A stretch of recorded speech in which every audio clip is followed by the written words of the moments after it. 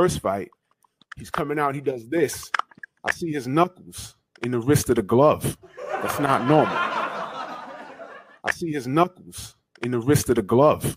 The fuck are you talking about? The fuck are you talking about? What the fuck are you talking about, What the fuck are you talking about? Hold on a second. He's done a tremendous job in helping Tyson Fury not only lose weight but get into some sort of fighting shape, as indeed has Ricky Hatton. Who's got it? I want to see it. So when motherfuckers ask me why I cap so hard for our motherfucking champion, why I fucking had to drive home with a fucking tear in my eye about to drop, it was fucking that serious for me. Because it was more than just a fight to me. It was more than just a goddamn fight. And Tyson Fury ain't racist, but he's guilty by association. The big, dumb, doofy gypsy.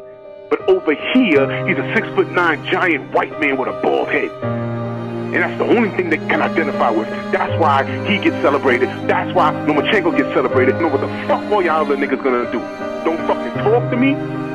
If you ain't Bomb Squad, don't fucking talk to me. And don't tell me that it's, that it's just about boxing. It's not. Don't tell me. Yo, I'm telling you, I'm not arguing with no that Harriet Tubman with a fucking shot. And there's a lot of motherfuckers out here, Harriet Tubman would have blown their eyeballs out the back of their motherfucking fitted cap. Don't fucking tell me it's just about boxing. Don't tell me you keeping it about boxing. Me tell you something, man. Teofimo, he's a bitch. He's a fucking bitch. He could have said, yo, look, I don't believe in Glovegate and left it at that. You gonna call him a bitch like you want smoke, nigga? Now, I got a little tiny ass YouTube channel and I'm talking shit. And I go to the fights. What you gonna do when you see me? Not a goddamn thing. Because I ain't looking to get paid.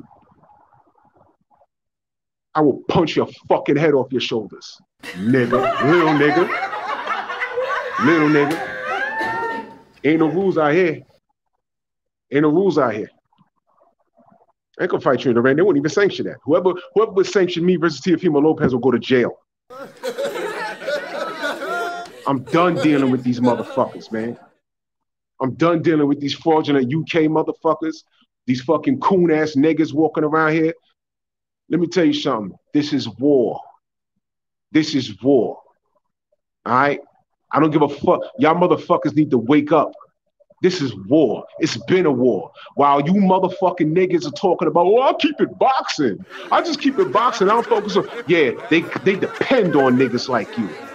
Because while you keeping it boxing, they keeping it about something else. Always. Did you see that move, Rosewood, back in the day? Remember when he was like, eh, you know, I just want to buy my property. I don't want no trouble. And they kept telling him, yo, you keeping it like that? They keeping it like something else. And they forced his hand and he had to pull his guns. All right? You, they're going to force your hand. Are you going to pull your gun or not? What are you going to do?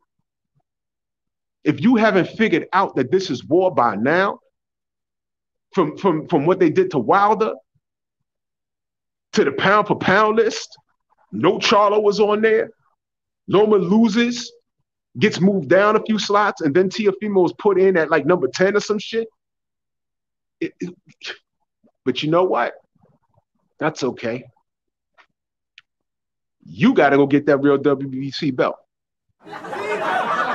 Go get it, man. Don't go nowhere else other than Haney. You better hope Haney lose this weekend. That's what he's hoping.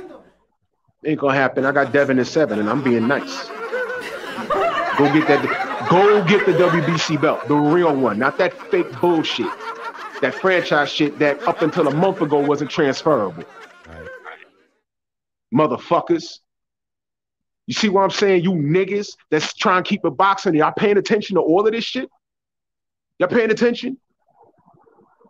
Put down your weed, put down your hook, your hookah.